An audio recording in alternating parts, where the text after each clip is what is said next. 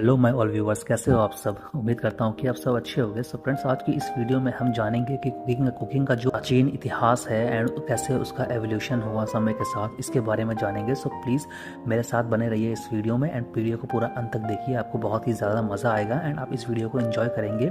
And साथ ही साथ enjoy करने के साथ साथ आप कुछ सीखेंगे भी। सो प्लीज़ चलिए बिना किसी देर करते हुए शुरू करते हैं वीडियो को। तो दोस्तों सबसे पहली बात तो जो ये खाना पकाने का जो एक लंबा और समृद्ध इतिहास है,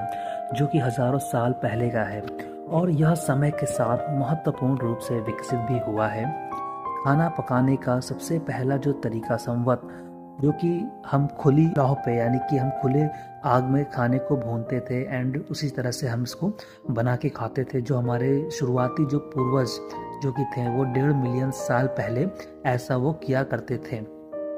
लेकिन फिर जो समय के साथ मनुष्य विकसित होता गया एंड उसने जो खाना पकाने के नए नए तरीके होते हैं, उसको विकसित करना शुरू कर दिया। जैसे कि इसमें कुछ जो मेन जो टेक्निक्स हैं खाना पकाने की, जो कि आज हम घरों में यूज़ भी करते हैं, जैसे कि बॉइलिंग फ्राइंग और पकाना, यानी कि कढ़ाई में पकाना। तो इस तरह की जो टेक्निक्स हैं, उसकी शुरुआत हुई जब इंसान थोड़ा सा विकसित हुए तो तो इसके अलावा गाइस अगर हम आगे बढ़ते हैं तो जो कुकिंग की जो टेक्निक्स कला है, जैसे कि मिस्र, ग्रीस, रोम, जो कि प्राचीन सभ्यताओं में से एक माने जाते हैं, खाना पकाने को एक टेक्निक या फिर कला के रूप में देखते थे और रॉयल्टी और अन्य महत्वपूर्ण लोगों के लिए विस्तृत भोजन तैयार किया जाता था, यानी कि उस टाइम पे आपने मिस्र का हिस्ट्री एंड ग्रीस रोम की जैसे हिस्ट्री पढ़ी होगी तो उसमें जो स्पेशल लोग होते थे स्पेशल पीपल्स होते थे, जिनको कि ऑनर देने के लिए उनके सामने अलग अलग तरह की डिशेस को बना के प्रेजेंट किया जाता था, उनको रॉयल्टी प्रोवाइड करने के लिए गाइस तो आप देख सकते हो कि किस तरह से जो खाना है, वो इंसान की जो रॉयल्टी है, उसको प्रोवाइड करने में भी कितना हेल्प करता है। की बात करें तो यूरोप में जो कुकिंग की जो टेक्निक्स हैं, वहाँ पे कुछ डिफरेंट टाइप की जो कुकिंग है, उसका उधर विकसित हुआ, जैसे कि स्टू सूप एंड भुना हुआ मांस या फिर जिसे आप स्टेक भी कह सकते हो, इस तरह की जो कुकिंग है, उसका वहाँ पे आविष्कार हुआ। एंड गाइज़ इसके बाद जैसा कि आप जानते हो कि समय के साथ एवोल्यूशन होता है, बदलाव आते हैं तो इसी तरह से समय के साथ इस कुकिंग की जो आ, कला है कुकिंग है इसमें भी काफ़ी सारे चेंजेस आए। एंड जब लोगों ने नई नई चीज़ों के बारे में जाना एंड उसके बारे में सीखा तो उन्होंने फिर उसको और ज़्यादा इवॉल्व करके कई सारी नई नई टेक्निक्स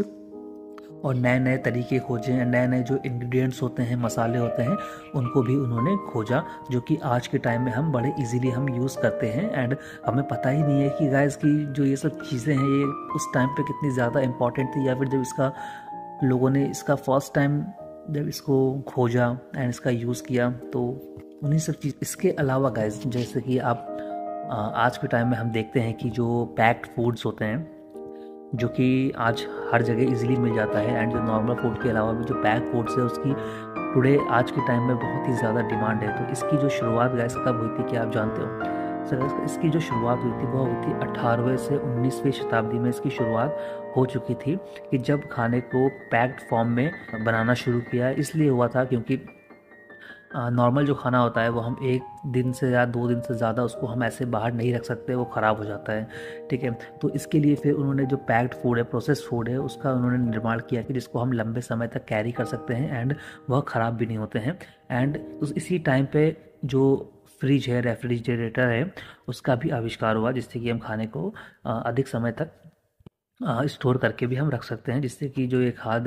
जो ये फ़ूड इंडस्ट्री में बहुत ही ज़्यादा एक बड़ा पता चल गया होगा कि कैसे जो पैक्ड फ़ूड है इसकी शुरुआत हुई एंड जो खाने को स्टोर करने की जो शुरुआत है वो कब से हुई? तो अगर इससे आपको कुछ नॉलेजेबल जानकारी मिली है तो प्लीज़ एक लाइक कर देना एंड चैनल पर नए हो तो चैनल को सब्सक्राइब भी कर देना जिससे कि हमें काफ़ी ज़्यादा हेल्प होगी। एंड इसके अलावा जो आज की जो जनरेशन है जिसका सबसे जो फेवरेट फ़ूड है जो कि है हमारा फास्ट फ़ूड भी है या फिर जिसे हम जंक फ़ूड भी कह सकते हैं एक हिसाब से बिकॉज़ वो बहुत ही ज़्यादा अनहेल्दी होते हैं। लेकिन जो ये बीसवीं शताब्दी में जब इसकी शुरुआत हुई तो इससे लोगों का जो खाना पकाने की जो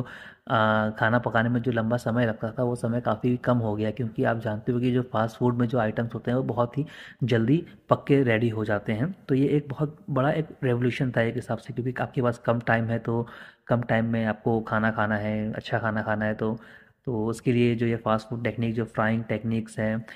तो ये काफ़ी ज़्यादा हेल्पफुल हो गई थी गाइस तो लेकिन जो है कि इसमें खाना टेस्टी होता है बट वो आपको हेल्दी प्रोवाइड नहीं हो पाता है वो हेल्दी नहीं होता है. तो इस बात का भी इसमें ध्यान रखना होता है कि कोई भी चीज़ हो समय के साथ उसमें बदलाव आते रहते हैं नई नई चीज़ें आती रहती हैं जो नई चीज़ें आई हैं वो पुरानी हो जाती हैं फिर नई चीज़ें आती हैं तो उसी तरह से अभी जो प्रेजेंट टाइम में जो अभी न्यू टेक्निक्स जो चल रही हैं, जो कि बहुत ज़्यादा ट्रेंडिंग में भी है, जो कि है आपका gastronomy and gastronomy sous vide sous vide and molecular gastronomy ये जो टेक्निक्स हैं प्रेजेंट टाइम की ये जो लेटेस्ट टेक्निक है, जिसमें कि जो कुकिंग है कुकिंग को उन्होंने दो पार्ट्स में डिवाइड किया हुआ है, जो कि फ़र्स्ट पार्ट है हमारा आर्ट जो कि हमारा टेक्निक्स भी कह सकते हैं। एंड जो सेकेंड पार्ट है, वो है हमारा साइंस यानी कि आर्ट और साइंस के मिक्सचर को अगर हम मिला दें तो वो होती है कुकिंग गाइज़ एंड इसके अलावा दुनिया भर में प्रेजेंट टाइम पे काउंटलेस टाइप के क्यूजिन्स हैं और भी नई नई तरीके की जो स्टाइल्स हैं, वो एक्सप्लोर की जा चुकी हैं एंड आगे भी होती रहेंगी। तो ये थी छोटी सी एक brief history of cooking so video पसंद आया तो वीडियो को लाइक कर देना एंड चैनल को सब्सक्राइब कर देना एंड जो मैंने नई टेक्निक बताई है लास्ट में गैस्ट्रोनॉमी एंड वीडियो सोस तो इसके बारे में अगर आप जानना चाहते हो तो इसके लिए मैं आपको सेपरेट वीडियो में बता दूँगा कि ये क्या है। तो तब तक के लिए गुड बाय ख्याल रखिए अपना।